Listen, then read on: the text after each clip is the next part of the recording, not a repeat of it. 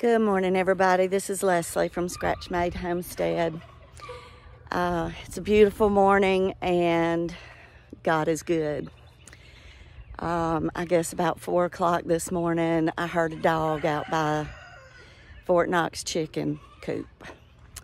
And we had about 25 meat chickens that are gone.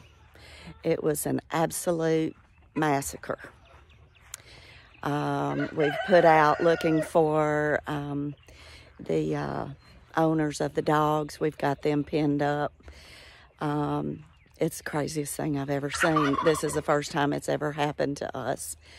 And um, they didn't actually kill all of them, but they, they, I mean, they all but killed all of them. There's about four or five of the chickens that are still alive, but they won't be alive for long. So, and, and probably about half a dozen of our um, ducks. So, um, you know, this is the first time that this has ever happened. So we're wondering, okay, how do we dispose of this much, this many chickens?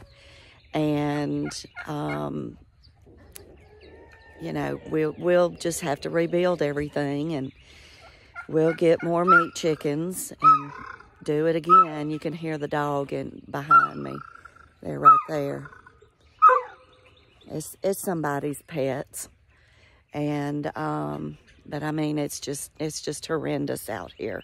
I feel so terrible for my chickens. This is, um, the coop that we had them in. And the thing is, we were going to harvest them in about three days. So, um, it's really very sad.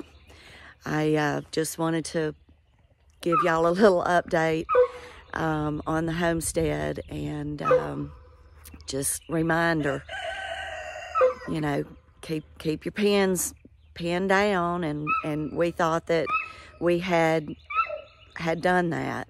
Um, but these two dogs got in here and, and uh, killed them.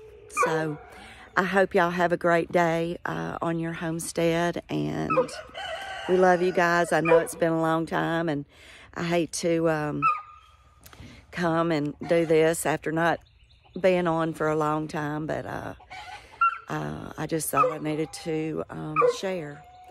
We love y'all and peace out.